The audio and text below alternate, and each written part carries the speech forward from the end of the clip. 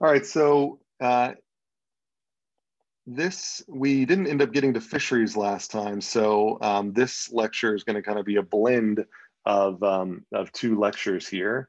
Um, so uh, this is kind of um, a combination of uh, renewable,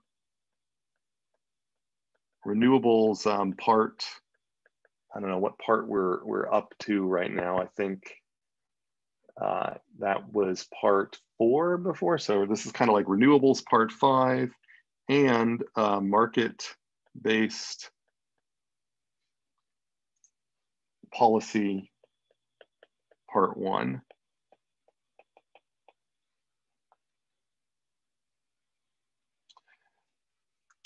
And the um, any announcements? So uh, I guess things I wanted to mention. Uh, there, oh, the course evaluations, by the way, I forgot to mention this last time. They are available. Um, I think that the university course evaluations are, are open until the 4th, December 4th. Um, it's a little confusing. I also teach an engineering course and there they'd use a different evaluation system, which I think closes uh, early, like at November 29th. And so I always forget which one closes when because they're always different, but uh, but they are available. And if you're uh, would like to submit a course evaluation for this course, which is always appreciated, that um, so you always get to get that feedback there. It's in the top left corner of Canvas. I've put a link in the menu bar that says course evaluation. You can also find that link in the course information module uh, within Canvas. And so you should be able to find those links there. And I think you should have also gotten an email about your course evaluations. So those are out and available. And um, of course, that would be appreciated. Um, there is the, the, you just turned in that homework D2. Um, I hope that was, I got some comments from people that they uh, felt that that was a helpful homework uh, that, that helped solidify some things for them. And I was glad to hear that um, which um, it, it, actually made me a little bit sad because uh, so, well, then for the next time I teach this, I have to come up with a new homework, and um, and and so you know it, it will be uh, it's it, not, the solution set will be out there, and so I'll have to come up with something that is that is I think similar but different. And so I, I tried a very different format for this homework than what I did last semester. And so I'm glad that it worked, but I'm also sort of sad that I, it's going to be hard for me to come up with a unique version that's sort of similar. Um, but uh, but um, I am going to release, um, hopefully today, homework D7, which I'm not going to make as quite as long, but it'll still be worth 100 points. That'll be just about fisheries. And I did that because I promised an additional homework to help people take advantage of that one drop homework. Um, and I also want to have you uh, have a little bit of practice with the fishery stuff that we will talk about today. And I think that's it. So basically there's this lecture, there's Tuesday's lecture, then there's Thanksgiving break, no lecture. Um, and then uh, I think we've reserved Tuesday of the finals week for or the the last week of class so the um, not the original finals week but what's kind of the new finals week as a review day. And so we can review anything that you'd like to review before the final exam. Then the final exam will be on thursday of that week. Um, that's the 80% of your final exam comes from the individual version and then 20% comes from that collaborative open book version on friday. And if thursday and friday are too busy for you you can go on to canvas and you can go into people and then under groups and you can elect to be in the later group and then it'll be the monday and tuesday of the original finals week where monday is the individual version 80% of your score and then tuesday is the group or open book version 20% um, of your score. Uh, but make your elections before December 1st, because on December 1st, I'll turn the groups into Canvas sections, which will allow me to um, to give the section that's later the, uh, the, the later exam assignment and the section that's earlier the earlier exam assignment, so that um, everybody's blocked off on the uh, the right times and the due dates show up on the right times. So make all of your selections before December first, um, and you just do that again, people and then groups. So before we dive, so to speak, right back into the fisheries, are there any questions about the layout of things going forward? Only a couple more classes left. Pretty clear.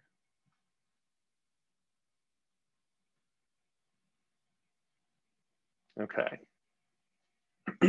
so um, we have been we just introduced the uh, economics of fisheries, another type of natural asset um, that has a very different type of dynamic. And so the idea here is that you have X fish in a fishery and under ideal scenarios, then they produce R offspring uh, per fish, say per year. So per unit time, but I'll just say per year to be useful or, or um, to be um, simple. And then, uh, and then the fishery has a carrying capacity, K,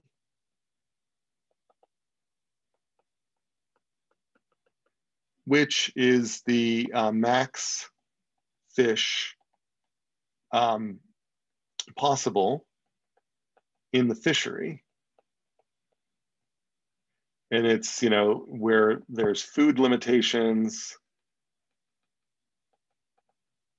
Yeah, we'll primarily focus on like, you know, based on the food and nutrient limitations in the fishery, it is just not possible to uh, have more than K um, uh, fish in a fishery. And that induces a probability of survival. So you could say there's a probability of offspring survival.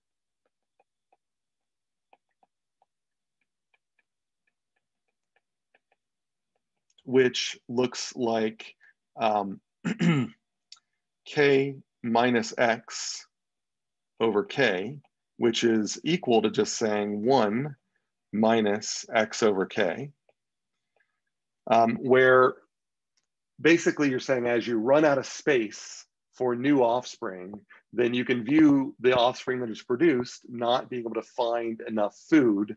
Uh, or if you'd like um, to think, you can view the parent fish not being able to find enough food just to even bring the offspring um, uh, to that point to, to hatch out. So um, so either way, you can view it as a probability of survival to reproduction. So you could view this as, as, you know, instead of just survival, you could say survival to reproduction. Maybe I'll add that there, to reproduction. And so what that means is that the fish produced per year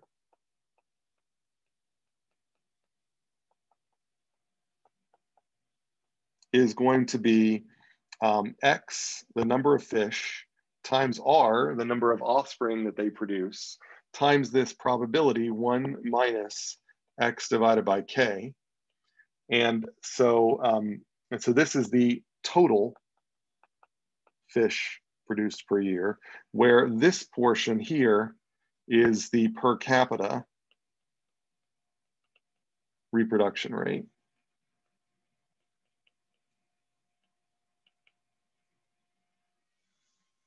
So every year you're adding this quantity to the total population, and that comes from every fish in the current population generating this much. So if you like to think of this like a bank, then you can view this kind of as um, the money in the bank. And you can view this over here as an interest rate that uh, changes with bank balance. So it's like this bank that says that um, we are happy to allow your money to grow um, very fast, but we are eventually going to throttle it down so that you can't actually have an account with more than a certain amount of money in it. So you put $5 in and it quickly will become 500, but then once it's at 500, you don't get any other interest from then on out. And you can't even put any more money in that. So that's kind of the, the type of bank that we're dealing with that we're figuring out how to manage. And so when you were managing such a bank, you would want to capitalize on taking your money out before it reaches that $500 limit and then allow it to continue to grow. So you constantly take $100 out every year so that you sit more at say $400. And at that $400, it'll constantly then produce the $100 that you'll need to take out the next year. And so that's what we're trying to figure out is how much money do we leave in the bank? Um, and so, you know, how big of a harvest do we do we need to have? And so the um, and so if we were to to view an unharvested fishery over time,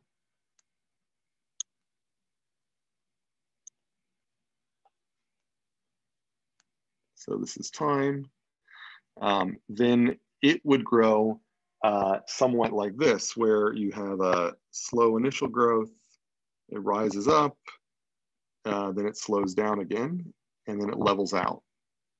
And it stays at that level forever. So this is our unharvested fishery.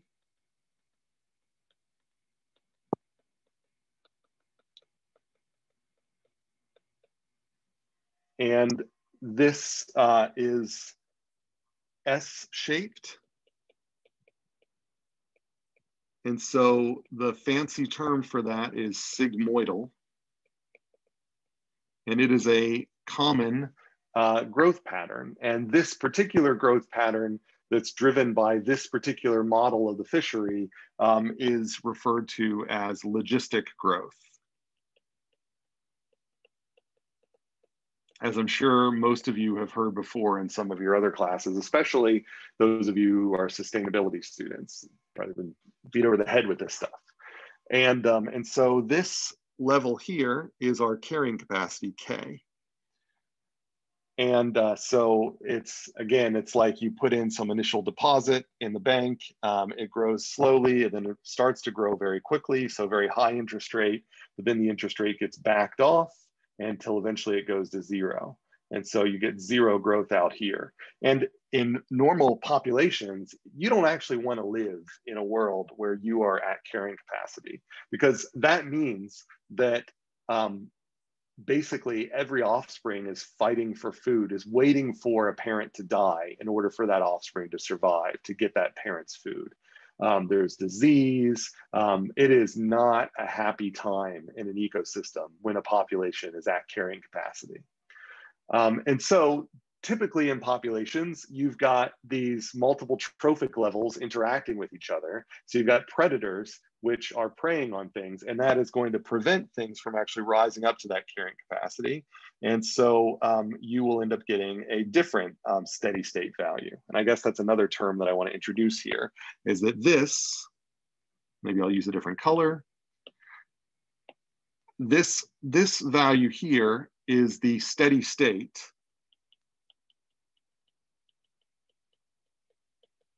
value uh, or we can view it as the equilibrium value. But I'm going to use probably the term steady state as to not confuse things with our market equilibrium. And we refer to this other portion uh, over here um, as the transient.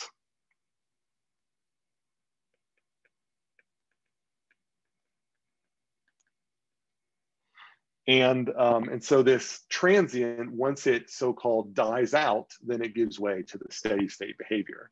In forestry dynamics, we were sort of focused on the transients. We were very interested in, that, we never let the forest reach some steady state because forests eventually go into decline. And so we um, are constantly, you know, harvesting them and, um, and we kind of introduce a new steady state which comes from the average kind of wood, you know, it's like I mentioned that you have multiple stands. And so you're harvesting stands at different times, but each stand only gets a certain rotation length to grow. And so the average um, forest is um, is kind of averaged across the stands, and that kind of becomes what we mean by a steady state, where we are kind of the the predators that are coming in and regulating the forest population, so the forest population reaches some sort of steady state. But it's this, but there are these kind of hard things where the whole stand is we don't um, we don't um, in fisheries we don't harvest all of the fish and so, like in a forestry, we we let a stand grow, and then we harvest everything, and then let it grow again, and harvest everything and let it grow again. In a fishery, we are going to let it grow to a point where we harvest a little, so that we can come into balance, a new balance. And so this a new balance will be a new steady state. And so the idea is that uh, we, the people in a harvested fishery, which I'll draw down here,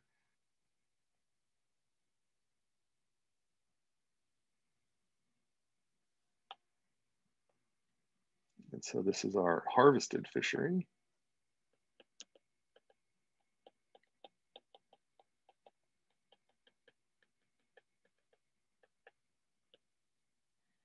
Then we have, and this, I guess I should have wrote up here, this is um, fish population.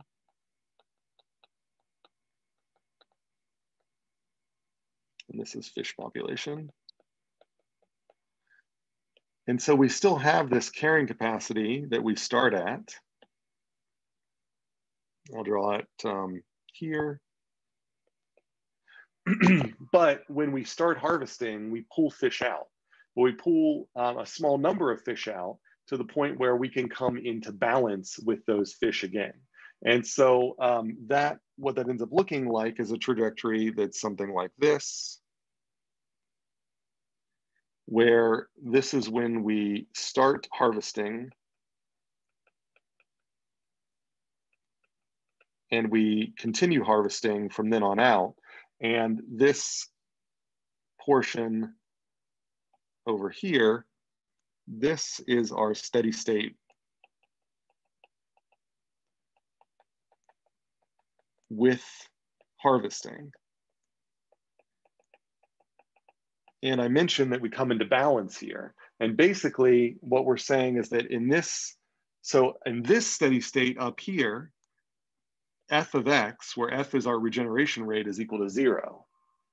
Down here, f of x is equal to the harvest rate. And so um, we are coming into balance in that we are harvesting enough fish that the fish are able to repopulate at exactly the rate that we're taking fish out of the fishery.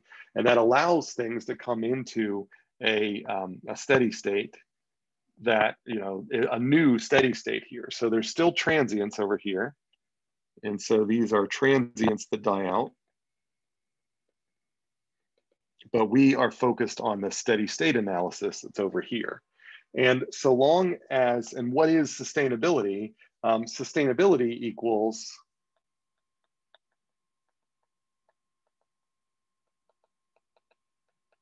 is when the steady state population is greater than zero.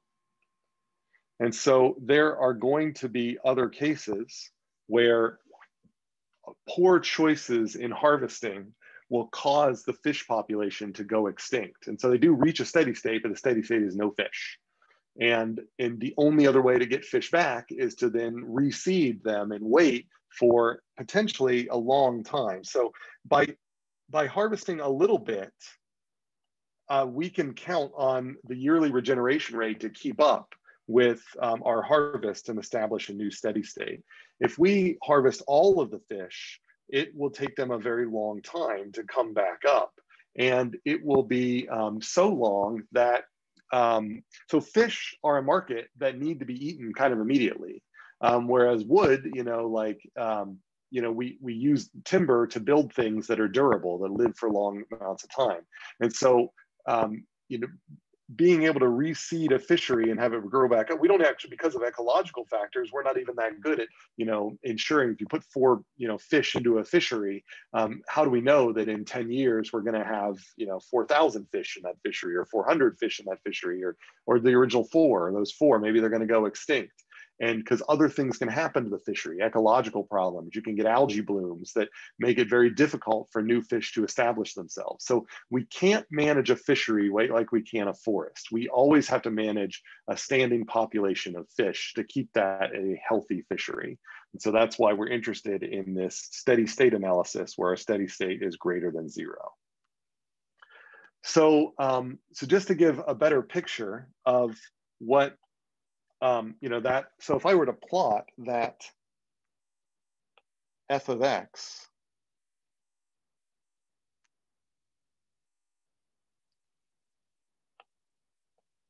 So this is my fish population here. Now it's on the horizontal axis. So I've got my carrying capacity here, K. So um, I just counted over one, two, three, four, five, six. So there's gonna be, I'm just gonna mark the midpoint here. And um, so if I were to draw, and then this here is going to be my f of x, which is uh, fish, new fish per year. And if I were to then draw that, it's going to look like this.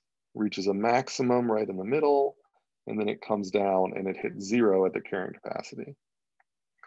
So it looks like something like that, where this here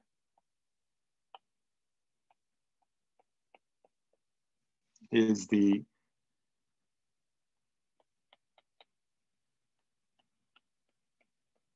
This here is the max regeneration rate.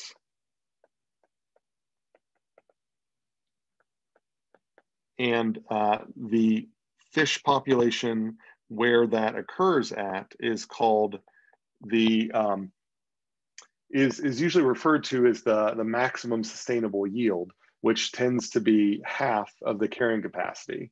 So what we view is we um, the idea here is we harvest this many fish. So um, this is K minus X maximum sustainable yield.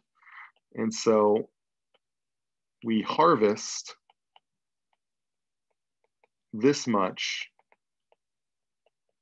to maximize um, harvest rate. uh, but no more. And so there wouldn't be any benefit in harvesting more uh, because the fish regeneration starts to decline. So, um, so what's going on here is like, imagine if you're at a fish population that was right here. So we're saying that we've got this many fish down here and it has a regeneration rate here. So things aren't quite at carrying capacity, which means that you're you are getting coexistence of parents with offspring. Nobody is fighting to the death just to get that last morsel of whatever these fish are eating. Um, it's getting a little tight, but not that tight. So somebody comes along and they start harvesting more. So another boat is added to the fishery. That increase in harvest will decrease the fish population. So it will decrease a little bit, say going down to here. Now, by decreasing the fish population, you've decreased the competition for food. You've now increased the probability that fish will survive. And so that is going to then move the regeneration rate up. So that was really convenient because I have added an additional boat to add to increase my harvest. And what has happened? The fishery has increased its regeneration rate. So um, this this here was like you know f of x1, and this here is f of x2, which is greater than f of x1. So f of x1 was in equilibrium at the old rate and f of x2 is in equilibrium at the new rate. And so there is this natural thing that as I increase my harvest rate, the fishery moves right along with it because I'm actually making it easier for fish to survive when I'm in this region. Now, once I hit this point right here, then um, population scarcity effects start to kick in. And so for this point down here, then as you reduce the number of fish, what you end up doing is you get rid of the, you're not worried about the competitive effects. Effectively, fish aren't competing with each other in this region.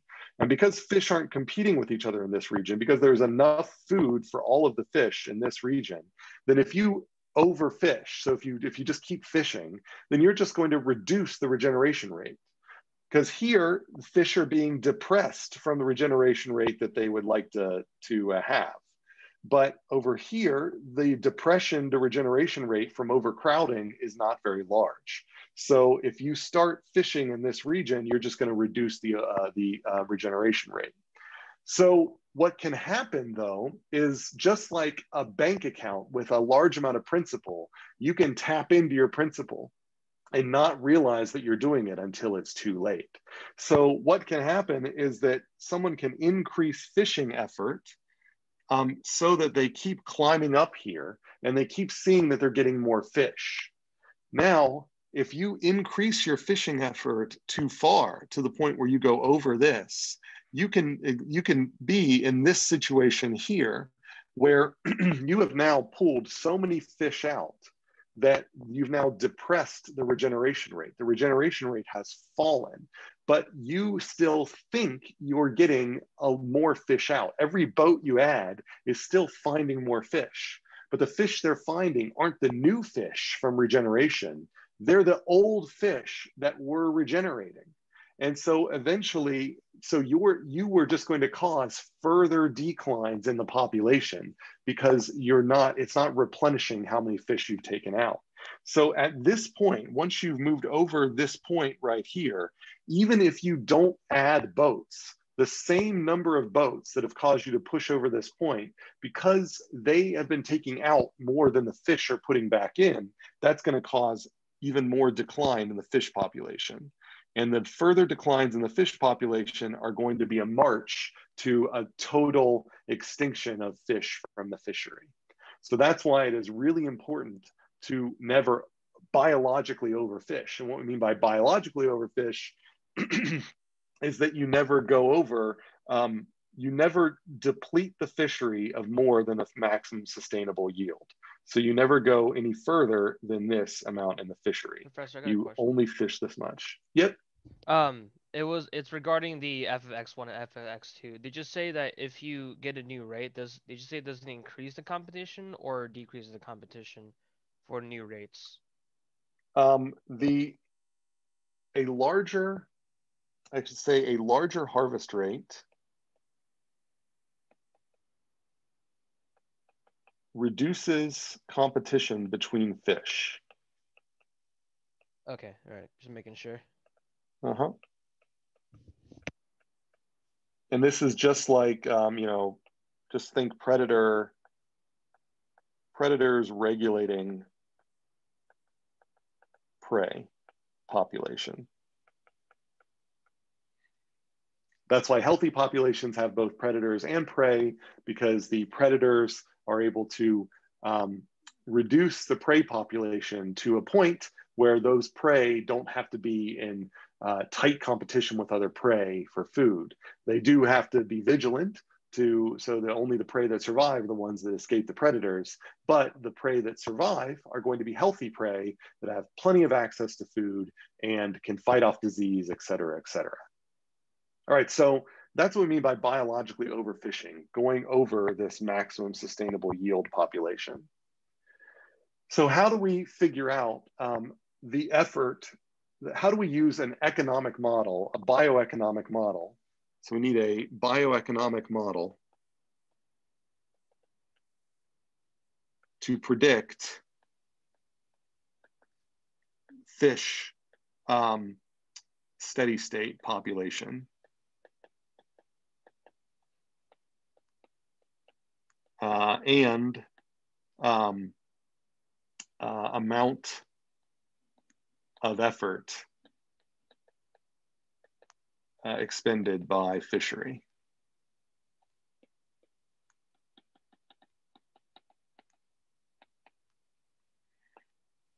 And we are in, there are ways to deal with the, there are ways to deal with the transients in a much more sophisticated analysis of fisheries. And we are not going to do that analysis here. We are going to focus just on, um, so we are going to take the, you know, simple, for simplicity, so we're going to simplify and we're going to focus on the steady state.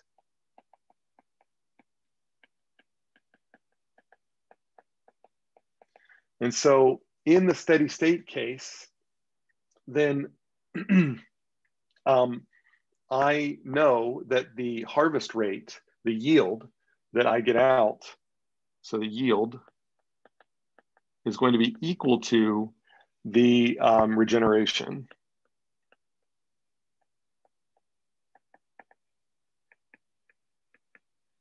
Let's just go back to uh, dark blue. So um, I need an economic model of yield. And so what I'm going to say, and this is just an assumption, it's a simple model, that um, the yield Y for a given effort E, so this is effort, so as you can think of this as number of boats, we're going to say that that is equal to um, some um, whoa, that is equal to um, some amount of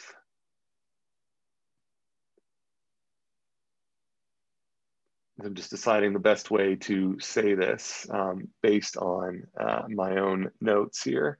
And so the I've got a certain number of fish in the fishery, and there is going to be um, so for for every unit of effort. So this is E. So this is my unit of effort. again like you know boat every boat is going to go out and come back someday or at the end of the year so if i put out one unit of effort so i have one boat in there for the whole year then i need to figure out how much yield do i get for that year well based on technology the you know the boats have got certain efficiencies and so um, so what we're going to do is we're going to model the efficiency of the boat as this model q times x where X is the um, fish population and Q is just a proportionality constant.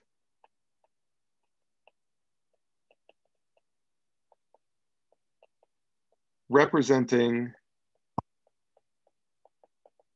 the efficiency of uh, the boats. So if I, uh, if as fish become more scarce, the yields are going to go down because it's just harder to find them. But for every fish that's out there, there, that's basically what I'm going to say here is for every fish that's out there, there is some probability that the technology used on the boat is going to be able to find that fish. And so you take all of the fish multiplied by that probability and you find the amount of fish that are going to be able to be harvested by um, a particular boat over a time period, let's say a year. And then we multiply that by the number of boats, and then we get our yield. And so uh, this is the yield for a given effort. And so what I would like um, is to be able to plot that yield effort curve. I would like to be able to be able to make a plot where I've got E on one axis and Y on the other axis and to see what that curve looks like. That's my kind of goal here. And so this is the economic side of it. So I said it's bioeconomics. So let's combine the biology side of it and see if we can manage to come up with a yield effort curve. And so I said, if we're only focused on the steady state, then I'm just going to set the yield for a given effort equal to the regeneration rate. So this is the yield or the harvest rate. And this is the regeneration rate. And this is what happens at steady state.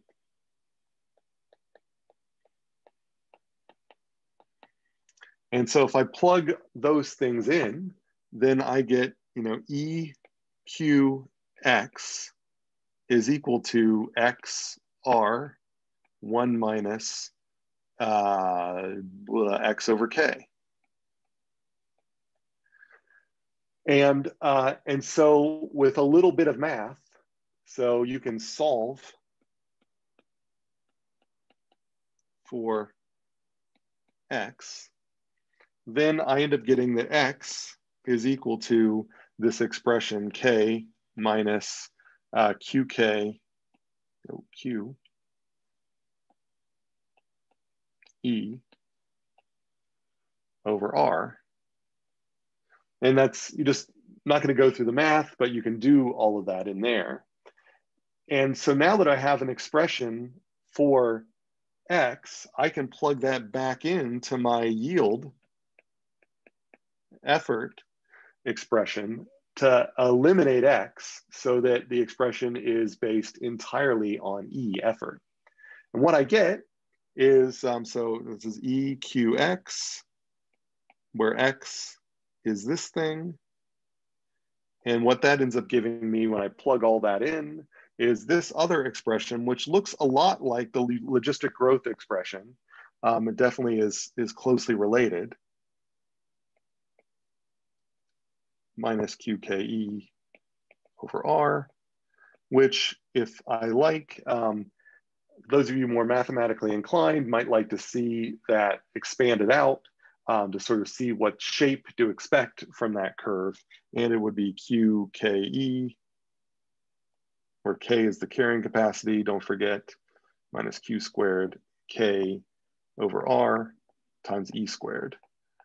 And, um, and for those of you kind of more mathematically inclined, um, it's fine if you're not, but you can see that there's this kind of parabola thing that you know is going to be upside down that's going to be shifted up. That's basically what we see here is that this, we imagine that this curve, which I'm going to draw in a second, is going to look like that. It's going to just be an upside down parabola shifted up so that um, the tip of the parabola is up here, which again looks just like the logistic curve, the growth curve, or the, um, the regeneration curve. Now in the book example, they set uh, k equal to 10 and q equal to 1 and R equal to 10. And if you do that, then you get a yield effort curve that looks like 10E minus E squared. And so there is an expression in the book, and that's where it comes from. It just comes from that logistic growth formula um, applied to this bioeconomic uh, assumption of yield equaling regen rate at the steady state. And so um, I can also plot the, um, so if I, I will just go to the next one. So my yield effort curve is, and I'll just rewrite that QKE minus Q squared k over r times e squared, which in the book's example is 10e minus e squared. And so you can view this as the net benefit, or not the net benefit, I'm sorry. You can view this as the benefit for E units of effort. And then the cost then of E units of effort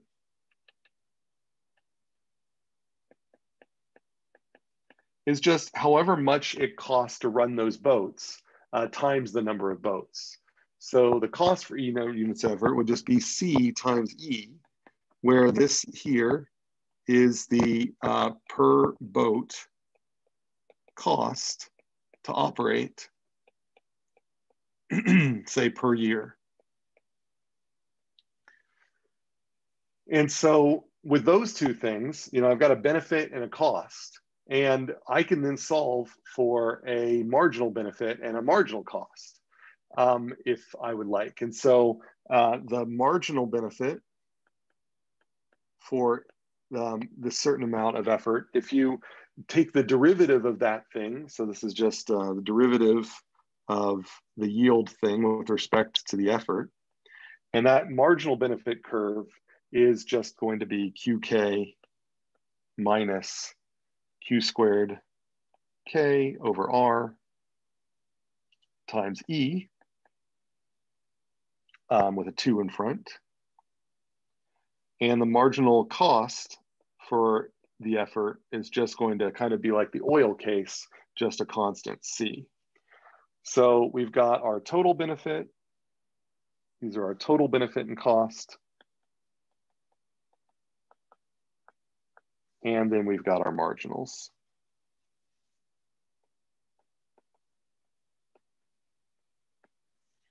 And for the books case, um, then uh, this just becomes 10 minus 2e. And, um, and I don't, I forget what, uh, I think the book uses a cost of two. So I think in the book's case, think they use a cost of two. All right, so um, we've got total benefits and marginal benefits. And so now we can do our economic analysis, just like you know we've been doing. And so if I plot these things, then um, I am going to go ahead and plot the total benefit, even though we don't normally do that. But we'll see why I do that here in a second. So maybe I'll do that here.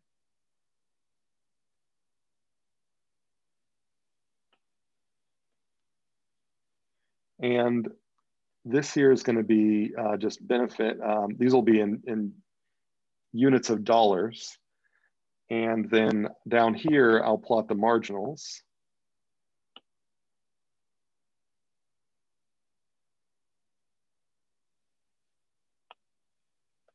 And so both of these are going to be in terms of effort. But here I'm got the dollars per unit effort. And um, and then up here, I've got, uh, so the, this one's in absolute dollars, these are the totals, and these are the marginals. And so if I plot my totals,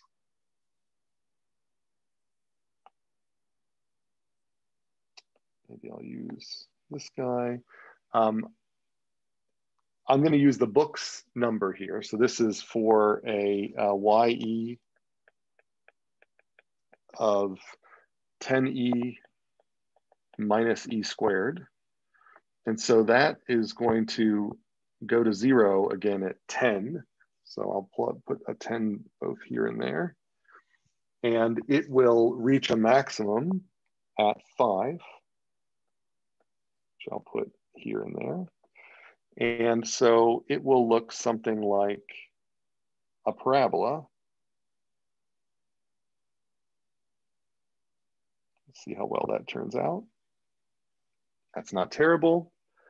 And, um, and so this uh, parabola is my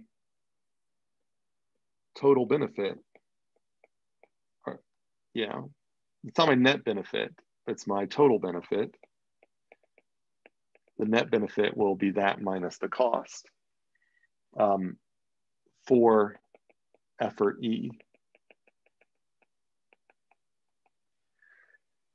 And if we plot our costs as we should, as um, from a good economic analysis, then we've got a cost that as um, uh, I said, our cost is two. So I'm going to say that cost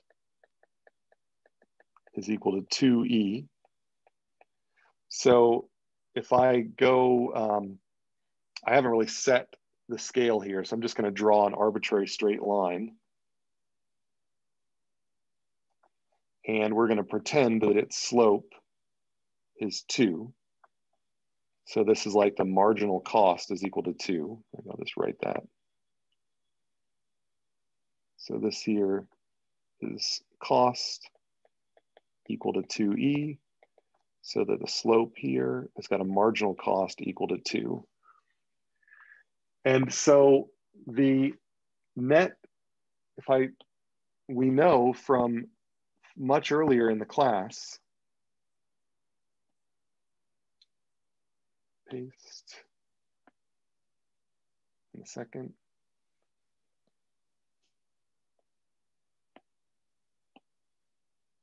We know that from earlier in the class, the maximum the maximum net benefit is going to be at the point where the marginal benefit is equal to the marginal cost. So that's the equimarginal principle.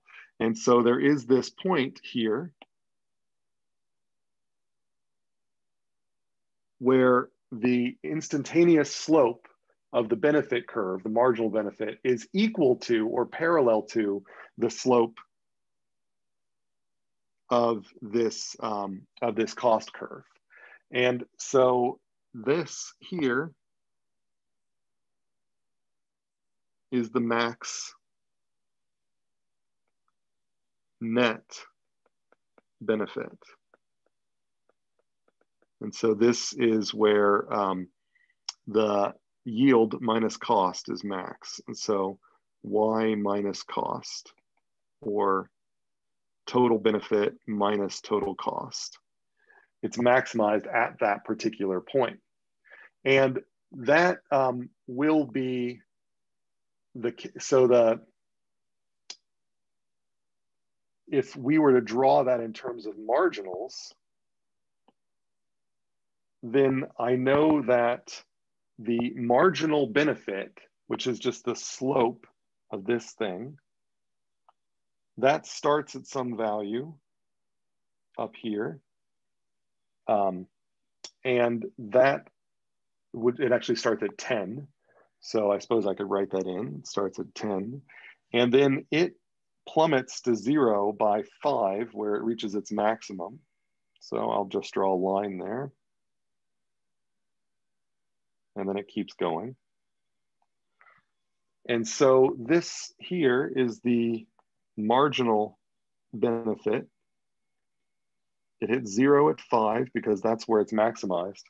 And it hits two.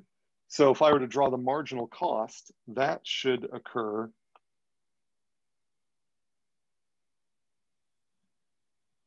at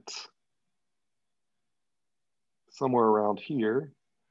So I'm going to just draw a straight line through there and say that that is going to be where we think two is.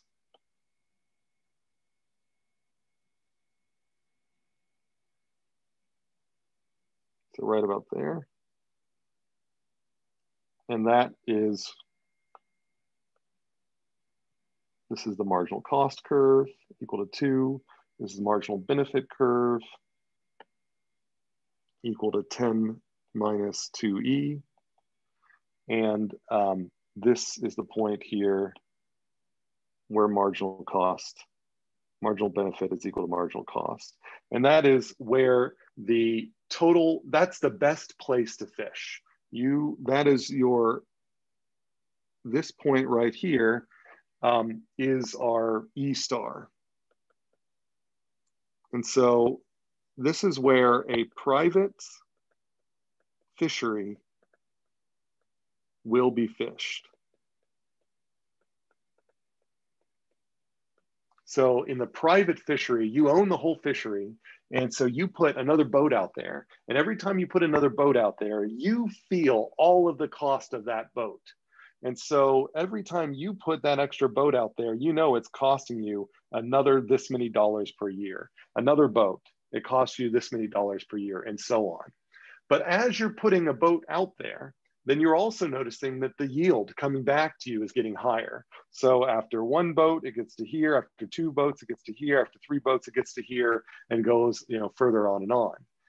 And so what you're you're feeling is the marginal benefit here. So after one boat, you know, you get 10 fish per year after one boat or 10 million fish per year or 10,000, whatever the units are here. If you get a lot of fish per year after one boat, uh, after two boats, you don't get as many fish. After three boats, you don't get as many fish. After four boats, not as so many. Eventually, you put so many boats out there that the benefit you get in dollars from selling those fish will end up balancing out perfectly with the cost of how much it costs to maintain putting that boat out there for another year. And that's where you stop putting more boats out there because any other boat, the cost of the boat will be more expensive than the benefit you get from the fish that you sell to the market. So that's where a private owner is going to be. Now, the problem with a lot of fisheries is that they're not private. And so, and and so just, and also just as a reminder, uh, remember here, this five, this here is the maximum sustainable yield. And so um, this is economically efficient.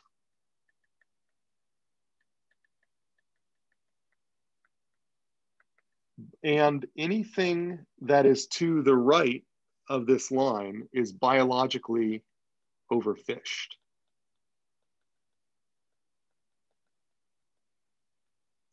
So we are not even fishing at the maximum rate we could.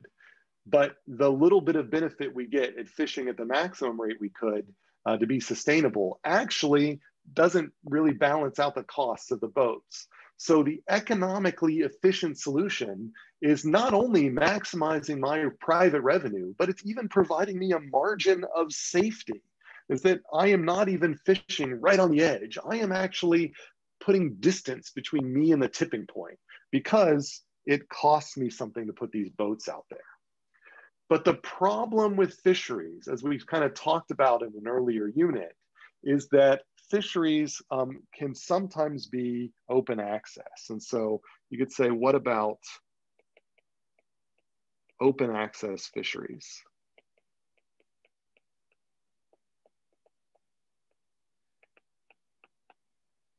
And in an open access fishery, the problem is that the people entering the fishery only are paying the cost for their boat. They're not paying the cost for every boat.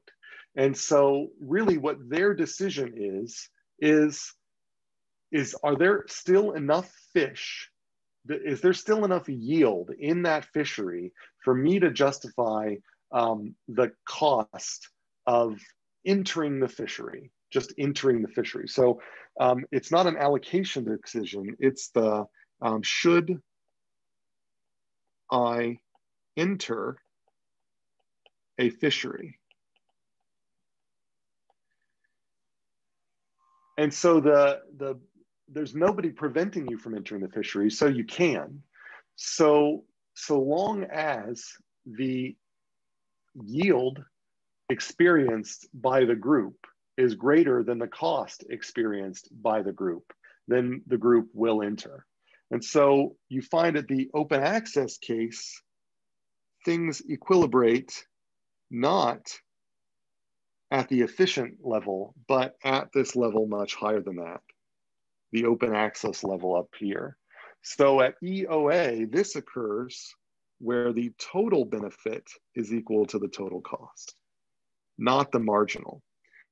And so the open access equilibrium is much higher. It almost looks like it's double the, um, the equilibrium where the economic efficiency is. And um, in fact, if you solve for this, we find that the open access equilibrium in this case is equal to double the efficient equilibrium for this case.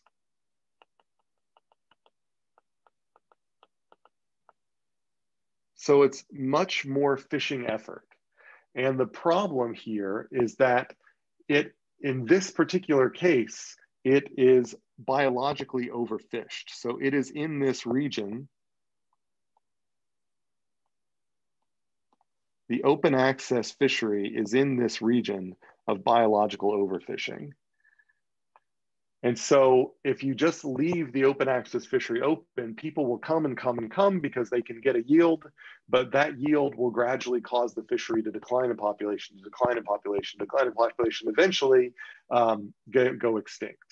And so on a short term, it will look like the fishery is providing, open access fishery is providing everyone with as much fish as they want. But in the long term, uh, the fish population will collapse and no one will be able to use the fishery again. So it's one of these collective action problems where um, you need to decide who gets access to the fishery. And in a self-organized way, it's difficult for a bunch of people to decide that I am willing to forego that fishery to allow you to fish in it. Because why are you getting the benefits if I can still get a little bit of benefit from joining? So because there is some benefit from joining the fishery, this joining process goes on until the total benefit from the fishery matches out at the total cost. And that is going to be higher than the efficient allocation. And in most cases, it will be in the biologically overfished region where it is above the maximum sustainable yield. Or you're going to be requesting more fish than the fish can, can, can support. So there are questions about that, about this basic analysis of the fishery, is that the fishery has this hump-shaped uh, yield curve, and that hump-shaped yield curve is what generates this problem where um, if it's privately owned, you get um, efficient solutions, and if it is publicly available, then you get inefficient solutions. And I might point out to those that uh, were paying attention here that if putting boats in the fishery were free, um, then in the efficient case, the cost curve would be flat, which would correspond to fishing just at the maximum sustainable yield. So even when boats are free, if it's a privately owned fishery, the privately owned fishery will maintain a sustainable population. But if boats are free, then the open access equilibrium will be down here where you put as much effort in as possible where to the point where the yield goes to zero. This is a, like the rush hour traffic case where eventually you get so many people on uh, the freeway that the freeway travels at zero miles per hour. So you can view this as almost like the speed of uh, a highway um, if one person, if one company is putting cars on the highway, then they will stop um, at the point where they maximize the benefits um, relative to congestion. But if everybody's free to put their cars on the highway, then they um, will end up uh, putting a congested case where you end up getting um, less yield than you would if only one person were in charge. So questions about that?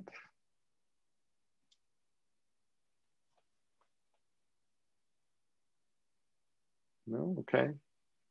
This is kind of a, a just a review of our collective action problems.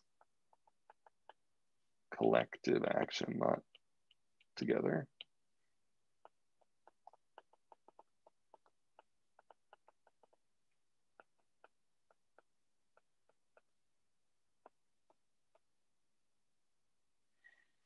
All right, so that is another example of renewable resources and the kind of an economic way of thinking about um, these renewable resources. And um, the there, and I should mention that there are ways to mitigate these challenges um, without a saying that only one person gets access to every fishery. And so one solution that the book um, discusses is turning an open access fishery into a common property fishery. And so this basically would mean it's it turns it almost into uh, kind of like a club good. That we kind of talked about before, where you get a small set, and I emphasize small set of um, stakeholders or individuals get access to fishery and no more. And so you could imagine that you charge for inclusion in this group. Now, this group itself uh, may not reach, it's possible that this uh, may not achieve economic efficiency because there are still negative externalities. There, my fishing takes regeneration rate away from you. And so um, if you and I are in this group together, I'm still putting an externality on you. And so because I'm not accounting for the costs of my fishing on you, we can expect that we might not reach efficiency. But if there's only a few of us that are causing these costs, and if we all know each other, then I might worry that there are social conventions that actually end up internalizing the costs I put on you. I might not fish as much today because I know that'll make you so upset that you might, um, you know, there might be some penalty. You might end up pointing out that I fished too much and you point it out to the group and I might get kicked out of the group or I might be charged a fine or you might just not like me anymore and we might not be friends anymore. And so there are reasons why keeping small groups ends up setting up social institutions. So the small groups, they um, reduce the size of negative externalities and they um, make it practical for social institutions and even um, and even group governance to internalize externalities. And you don't, um, and there's a question in the chat, and I'll get to that in just a second. And you you don't have to actually get all the way to economic efficiency, but the goal is to avoid biological overfishing. And so you might still be um, inefficient in an economic sense, but so long as the common property equilibrium is much closer to social efficiency, then there's a much higher probability it will not be biologically overfished. And so that's what we're trying to trying to get to here. The other solution to this um, is, you know, the second solution um, is you can just, you know, charge people per fish. So, you know, license fees, for example.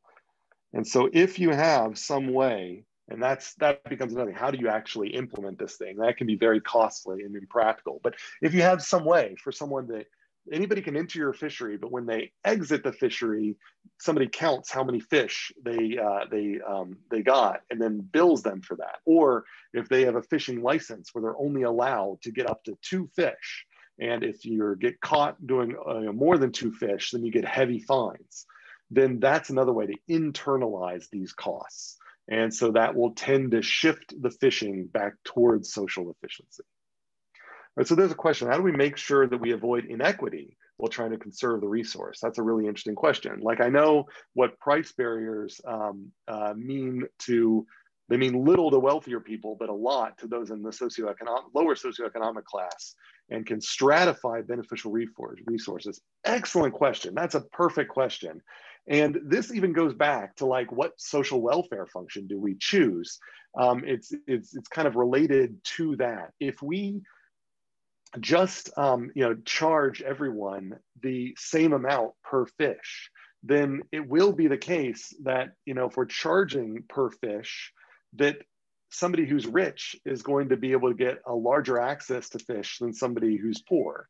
Um, if um, and that's why you might say that well maybe everybody out there gets two fish and it doesn't matter how much money they have. Everybody out there can buy one license and that one license costs a certain amount and that certain amount gives you two fish and that's all you get for for that season is two fish maybe that will be something that as long as the price is sufficiently low that um, will end up um, you know equalizing these things uh, a bit but you know there there are still games that kind of have to be played with that um, this idea of equitable, you know, how do we create policies that promote equality? So equity is like inequality generated by bad policy. So inequity is inequality generated by bad policy. So how do we achieve equity? That's a really hard problem. Um, however we do it, if we want to try to achieve social efficiency, we want to do it in a way that we internalize costs, but it might just be that certain people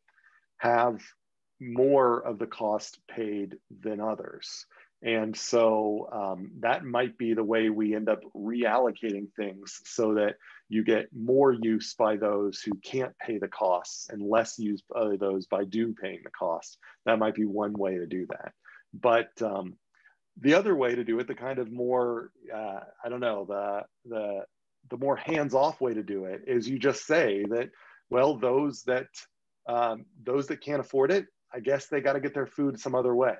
And you let the market allocate food and you know you meant that the market allocate as the market allocates and those who can afford things get things and those who can't do not and um, and for some people that might be the allocation that they view as a good one but it's a subjective choice that's why i think it kind of gets back to choosing your social welfare functions is that um, the way the the economic efficiency we're maximizing here, this kind of Pareto efficiency between consumers and producers, doesn't really speak that much to equity. And so um, we may need to add in additional constraints to try to come to equity. But, um, but those constraints, I don't have like a mathematical way to tell you these are the right constraints we can add constraints in, but the choice of the constraints is totally subjective. And that's like a public policy course to decide like which constraints to use. So I don't know if that is a satisfying answer, but I hope that at least points you in the right direction. Okay.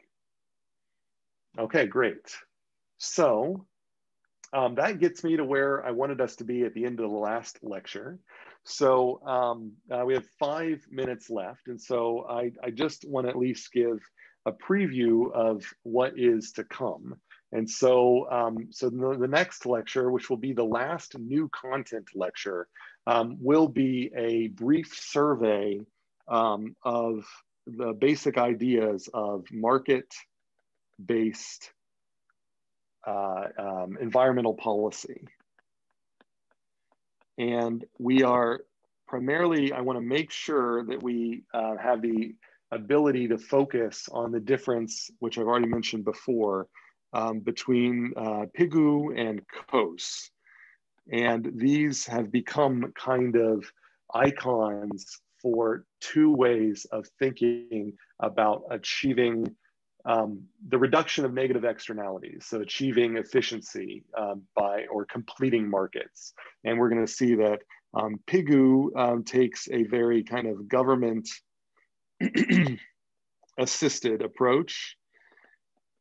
And so this is where we get things like emissions taxes. And then Coase um, it takes a much more individual approach. And in this case, all you have to do is to make sure the government um, provides property rights or enforces property rights. And so long as you can assume that property rights are there, then individuals will bargain to reduce the effect of negative externalities.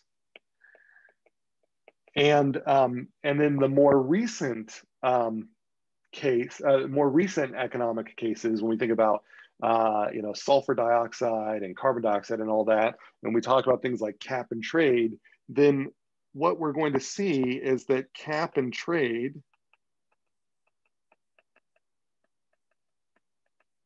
we're going to finally introduce cap and trade. This is a Pigouvian approach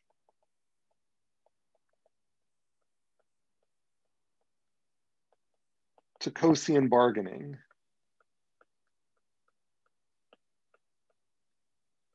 So what we're going to see in cap and trade is that the government will end up producing a cap on emissions and will in doing so, create a market where you introduce a new type of property. And that property will be your right to pollute. And people will be able to bargain to trade people's right to pollute individually. And that will cause some people to be able to pollute more and others less without the government actually deciding who's polluting and who's not polluting. And so, in some ways, cap and trade, I mean, if you were actually to dig up uh, Coase, Ronald Coase or whatever, and ask him, then he would hate, um, you know, cap and trade. But practically, um, you know, so cap and trade really is a Pigouvian approach. And we will, again, next time we will define what I mean by Pigouvian and Coasian and all that sort of stuff. But um, just as a preview to that, what we're building to and what I want, I want to make sure you leave this course with is an understanding of this more modern market-based approach to emissions control of cap and trade when it works and when it doesn't work. And what we see is that cap and trade is a Pigouvian approach, but it is strongly inspired by the individual-based bargaining that is really appealing to those that like the Coasian approach of keeping government out. So um, government is in, with cap and trade, but it is in in a kind of mediating way that allows people to trade, which makes it um, both kind of share elements of both of these. And that's what we'll get to um, next time. So I feel like that is a good uh, place to stop. So let's do an attendance question. So the attendance question is, I feel like I should do one of these in the middle of the lecture again uh, next time.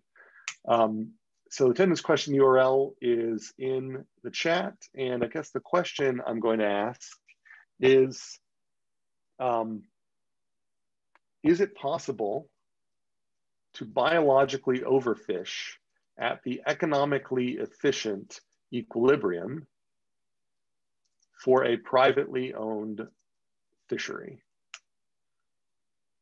So that's my question there is that, uh, so the question is, if we just let economics rule, um, are we gonna be safe? So does economics alone prevent biological overfishing? Or do we need additional regulation in order to prevent biological overfishing when the fishery is privately owned? That's my question. And that's all I've got for you today. And so uh, if you have questions, happy to stick around for them. If you don't, um, I hope you have a good weekend and we'll have our last new content-based lecture on Tuesday, then Thanksgiving, and then the Tuesday after that, we'll do a review for the final and then the final. So any questions? No, thank you so much. Have a great weekend. Yep, you too. Just have a quick question that's regarding what what you said about the attendance question. You said you mentioned uh-huh. before, like um, if you how do you say it at the at the maximum at the curve, if you go to the right, is it'll be a bio overfished if it was open um open access, but if it was if, but if right. it was a private good, it you it's possible to just overfish, right? well, the so the um, so the the idea is that uh, if if it's privately owned and you're internalizing all of the costs uh, and all of the benefits yourself, then um, then the question is, will you ever have a tendency to overfish? And so um, and so in the lecture, we talked about how the the the benefits and costs kind of take care of themselves, and that um, overfishing is was kind of a would be an economically weird thing to do. And so without just saying the attendance question uh, answer, uh, you know, here, um, uh, I'm just kind of hinting at it that if you go back and look at that slide, then um, we see that for the private one, that's the E star. And you, um, if you take the cost down to zero, you can see the worst you can do. And so if you take that cost curve and make it horizontal, uh, and um, then see where in that that that that means that the that the yield effort curve is going to come to equilibrium at the top of the curve. And so the really question is that's the worst you can do, the top of the yield effort curve, is that biological overfishing? That's kind of the question. Okay. Anything else? All right, have a good weekend all.